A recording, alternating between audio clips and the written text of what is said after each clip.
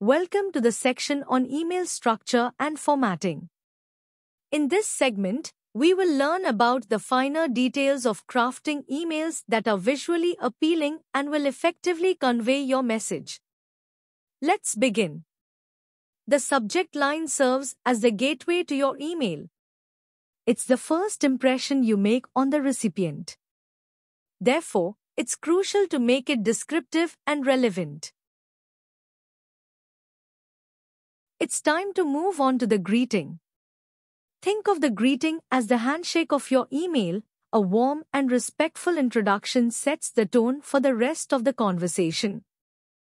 Depending on the level of formality and familiarity with the recipient, you might opt for Dear, recipient's name, or Hello, recipient's name.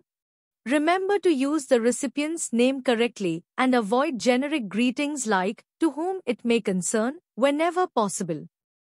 Long, dense paragraphs can be overwhelming for the recipient. Instead, break up your content into digestible chunks using paragraphs and bullet points. Bullet points are especially useful for presenting lists, action items, or key points concisely. They make your email easier to scan and comprehend, saving both you and the recipient time and effort. Remember, clear and organized content reflects positively on your professionalism and enhances the readability of your email.